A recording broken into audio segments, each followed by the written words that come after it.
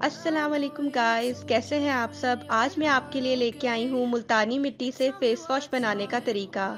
मुझे कहा जा रहा था कि मुल्तानी मिट्टी से फेस वॉश बनाना सिखाएँ। मैंने पहले इसको तीन चार दिनों के लिए ट्राई किया है। रिजल्ट्स इसके बहुत ज़बरदस्त हैं। ये स्किन पर निखार लाती है स्किन को चमकदार बनाती है। और ये आपके दाग, धब्बे, कील महासे और सन टन जैसे मसाइल को हल करती है। ये फेस वॉश इन तमाम मसाइल का हल है। गर्मियों के लिए बेहतरीन फेस वॉश है ये। यहाँ मैंने ली है गोल्डन पर्ल की मुल्तानी मिट्टी। आप कोई भी मुल्तानी मिट्टी इस्तेमाल कर सकते हैं। आप पंसार से भी लाकर इस्तेमाल कर सकते हैं उसको पीस कर। तो हमें यहाँ पर चाहिए हैं दो चम्मच मुल्तानी मिट्टी के। इससे ज़्यादा आपने नहीं लेनी। दो चम्मच से भी आपका काफ़ी ज़्यादा फेस वॉश बन जाएगा। और अगर आप पहली दफ़ा ट्राई कर रहे हैं तो आप एक चम्मच से भी बना सकते हैं। आपके लिए एक चम्मच भी काफ़ी है। रिज़ल्ट जब आपको मिल जाए तो फिर आप ज़्यादा बना लें। इसमें हम ऐड करेंगे रोज़ वाटर चार से पाँच चम्मच मैं रोज़ वाटर के डालूँगी। रोज़ वाटर स्किन की खूबसूरती के लिए सदियों से इस्तेमाल किया जाता है। इसमें आयरन मैग्नीशियम कैल्शियम जैसे मादनियात होते हैं, जो जल्द को चमकदार और खूबसूरत बनाते हैं। तो मुल्तानी मिट्टी का पेस्ट रेडी हो गया है, इसको मैं साइड पर रख दूँगी। अब हमें एक साबुन चाहिए है, आप कोई भी साबुन ले सकते हैं। ये मेरे पास ब्यूटी सोप है गोल्डन पर्ल का। आप कोई भी मिल्की या ग्लिसरिन वाला सोप इस्तेमाल कर सकते हैं। आपने वो सोप लेना है जो आपकी स्किन को ड्राई नहीं करे। और ये जो ब्यूटी सोप मैं इस्तेमाल कर रही हूँ, इससे आपकी जल्द पे रिज़ल्ट भी जल्दी मिलेंगे, आपकी स्किन काफ़ी ज़्यादा चमकदार हो जाएगी। हमें चाहिए होगा इसका तीसरा हिस्सा, इसको आपने ग्रेट करना है। साबुन से आपको इसलिए बनाना सिखा रही हूँ, ये साबुन घर में मौजूद होता है तो साबुन से आप इजीली इस फेस वॉश को घर में बना सकते हैं। आप कोई सा भी फेस वॉश भी इसमें इस्तेमाल कर सकते हैं, जो आप रूटीन में फेस वॉश यूज़ करते हैं, आप वो भी इसमें डाल सकते हैं। या आप कोई मिल्की सोप इस्तेमाल कर सकते हैं इसके अंदर, या कोई ग्लिसरीन वाला सोप, या फिर कोई ब्यूटी सोप भी इस्तेमाल कर सकते हैं। तो इस साबुन में ये जो बड़ा वाला चम्मच होता है, जो खाने वाला चम्मच होता है, इसमें मैं तीन से चार चम्मच डालूँगी रोज़ वाटर के। और फिर मैं इसमें एक बड़ा चम्मच पानी का डालूँगी ताकि ये जो साबुन है, ये अच्छी तरह इसके अंदर मेल्ट हो जाए। और फिर आपने क्या करना है, इसको भी साइड पे रख देना है ताकि साबुन जो है वो ज़रा अच्छे तरीके से पानी के अंदर हल होता जाए। अब हमें चाहिए है एलोवेरा जेल आप बाज़ार की एलोवेरा जेल भी इस्तेमाल कर सकते हैं या फिर आप जो घर में अगर आपके पास एलोवेरा जेल है तो आप वो भी इस्तेमाल कर सकते हैं। तो ये आपको चाहिए है एक से दो चम्मच इसके, इसको मैं ग्रेट करके मुल्तानी मिट्टी के अंदर शामिल कर रही हूँ। तो ये एलोवेरा जेल मैंने शामिल कर दी है मुल्तानी मिट्टी में।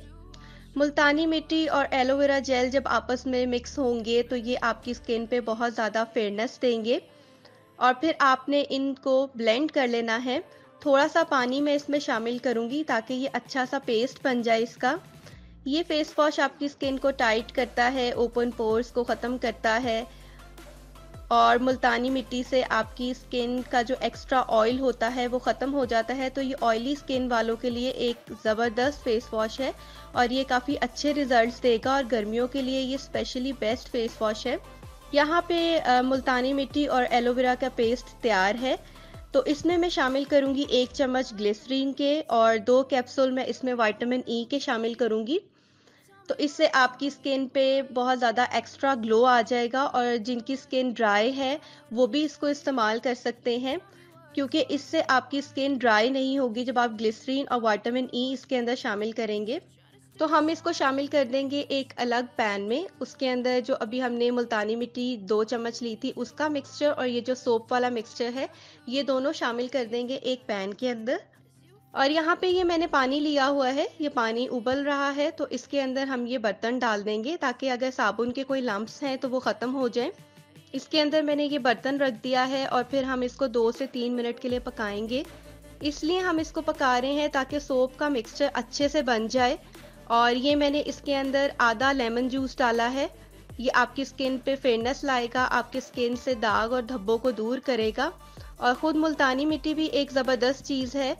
तो बस आपने इसको दो से तीन मिनट के लिए पकाना है और फिर इसको ठंडा कर लेना है।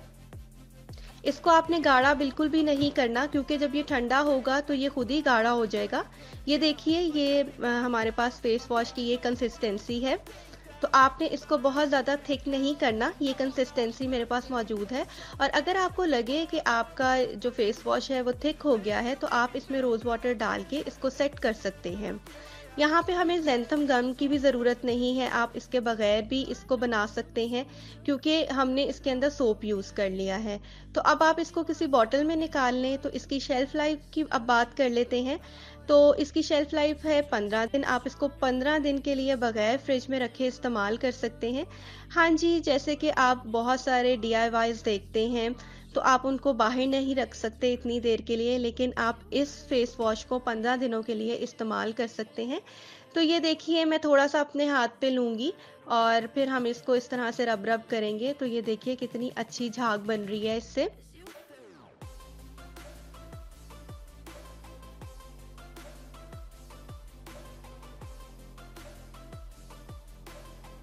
जब आप इसको वॉश करेंगे तो आप देखेंगे कि आपका फेस कितना ज़्यादा सॉफ्ट हो गया है। आपकी स्किन कितनी साफ़ लग रही है और इसके रेगुलर इस्तेमाल से आपके दाग, धब्बे, छाइयाँ ख़त्म हो जाएँगे। तो अगर आप मुल्तानी मिट्टी का फेस पैक इस्तेमाल करना चाहते हैं तो आप मुझे कमेंट बॉक्स में ज़रूर कमेंट कीजिएगा।